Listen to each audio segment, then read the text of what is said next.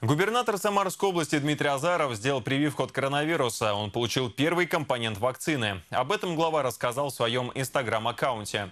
Дмитрий Игоревич посоветовал всем жителям региона сделать вакцинацию, чтобы как можно быстрее выработать коллективный иммунитет. Напомним, что в Самарской области открыто 167 пунктов вакцинации от коронавируса.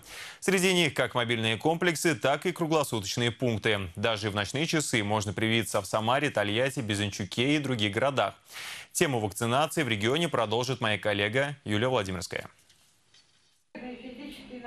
Чем больше людей сделают прививку, тем быстрее мы остановим пандемию коронавируса. В Самарской области вакцинацию прошли почти 375 тысяч людей. Это 24,5% от необходимых 60. В регионе брошены все силы на формирование коллективного иммунитета против коронавируса. Для борьбы с инфекциями мы должны сделать регулярный и по-настоящему массовой практику вакцинации.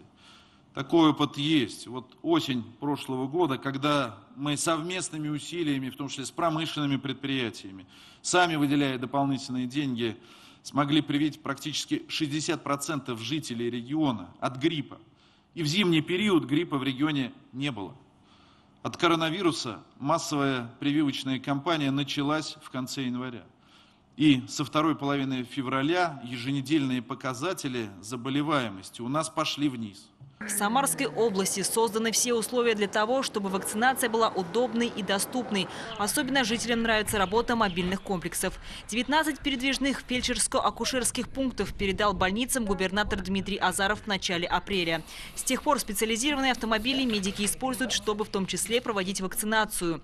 Ездят по удаленным районам и селам, работают в общественных местах и во дворах города. Таким образом, получить вакцину можно в удобное время и без очереди. Этим воспользовались жители Чапаевска. Сегодня у нас проходит параллельно сразу два мероприятия с использованием мобильного комплекса. Это э, диспансеризация и вакцинация. Диспансеризацию по нашим планам должны пройти где-то около 40 человек. Очень надеемся, что большинство из них будет также провакцинировано при отсутствии противопоказаний. Сначала их обязательно осматривает доктор. Э, значит, что касается также еще людей, то есть могут прийти люди просто с улицы. Э, о том, что мобильный комплекс стоит здесь, э, они были оповещены. Среди пациентов сотрудники управления архитектуры города. Галина Виляева хочет жить без страха за своих родных и за себя.